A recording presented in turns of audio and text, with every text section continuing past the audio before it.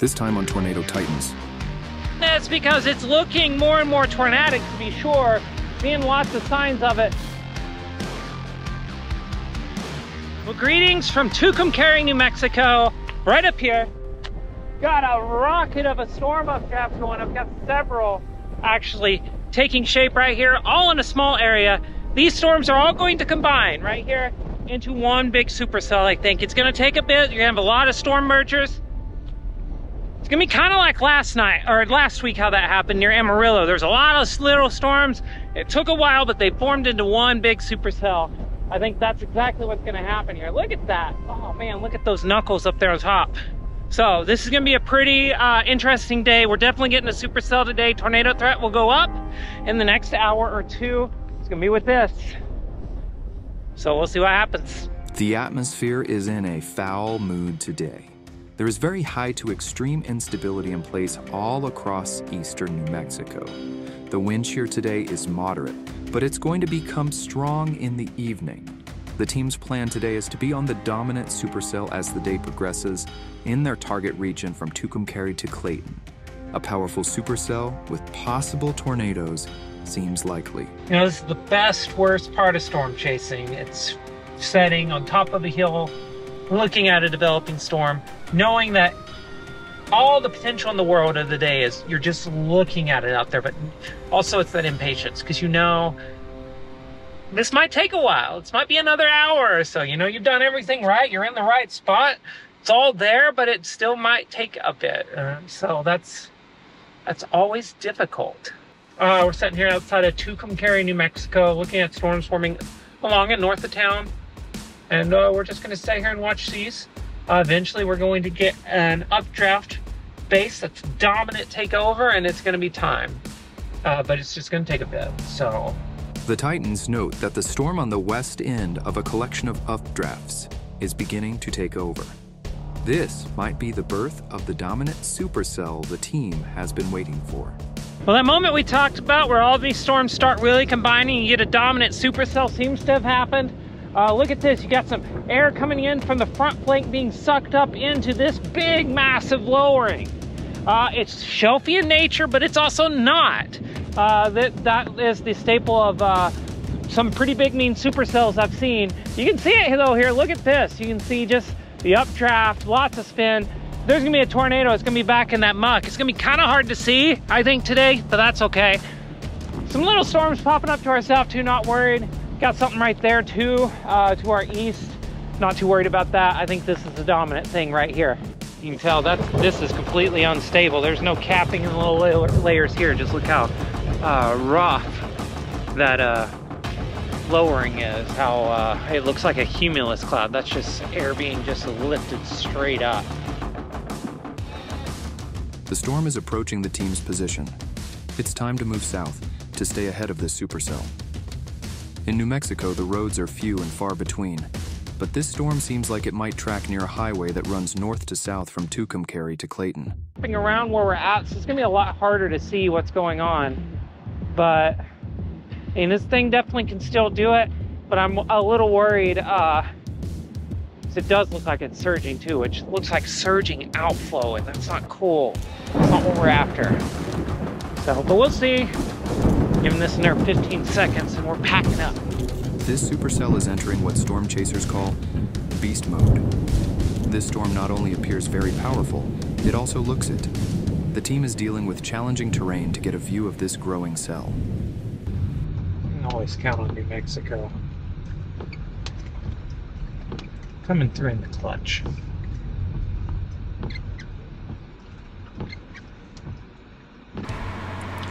Just doing a couple minutes here, then we're getting on the move again.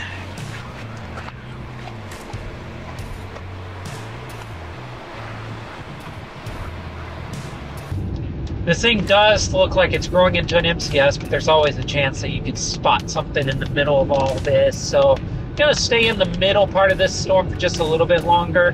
Uh, sun does set in just over, uh, actually about two hours from now. The supercell has become extremely large and powerful. This is evidenced by inflow bands miles away from the storm streaming into the updraft. For storm chasers, this is a moment where differing strategies are going to show what is possible for the day. A more cautious approach will probably prevent you from seeing a tornado, but will enable a view of incredible structure. A more aggressive approach does not guarantee a view of a tornado, but may almost certainly guarantee significant hail damage to your vehicle. We're gonna drop south here. Um, I'm gonna try to go at least five more miles south into this clear area to my south, and then it's gonna be fine. But and we're gonna probably get the camera out. It's gonna be a lot of fun. As the team repositions, storms are blowing up on the south flank of the supercell. This will almost certainly lead to the storm growing bigger and wetter, with a high precipitation mode now becoming likely. Worse, the storm appears to be wrapping up and producing a tornado. Without a clear visual, and with the storm behind the team, a costly mistake is made. The team continues to move south.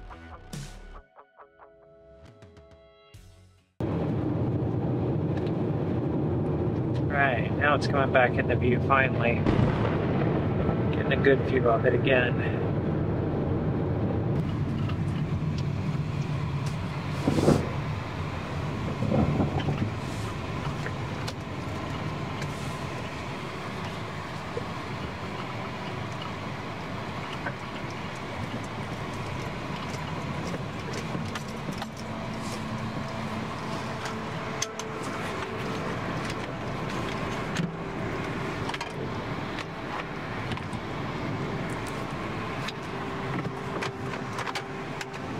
Storm chasers are looking into the heart of a monster supercell.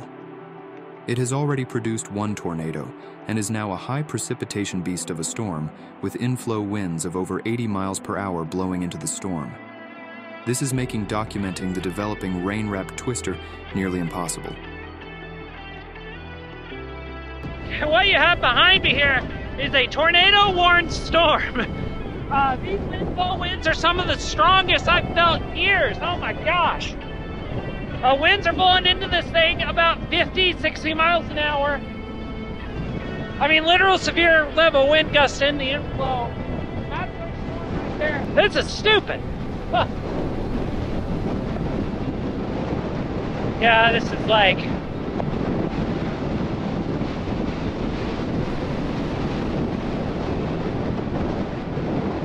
next level down. Sucks.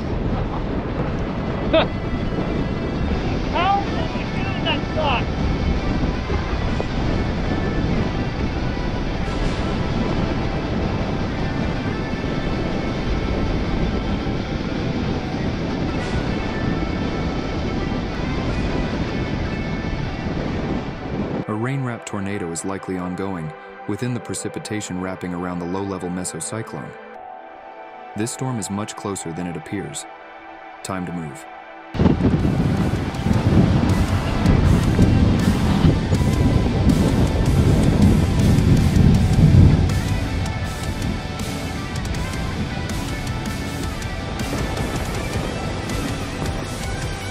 Tornado is crossing the road behind us, but is rain wrapped.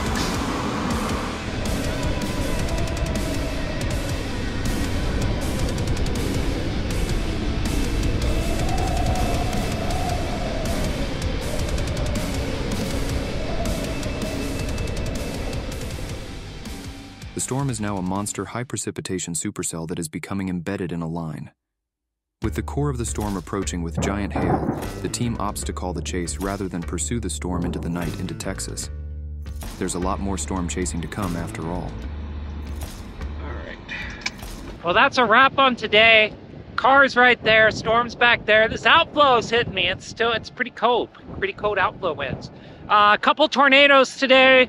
Rain wrapped, horrible. Couldn't see it. That storm did produce though. So hey, that counts. Uh, but uh, you know, the beautiful tornado eludes us. Apparently, not many people saw one the one tornado that you could see. So, with that said, um, yeah, it's time to head back to the house. We're going back to Albuquerque tonight. We're gonna sleep in our own bed, and then we're gonna turn it around and chase tomorrow. Eastern New Mexico, same place.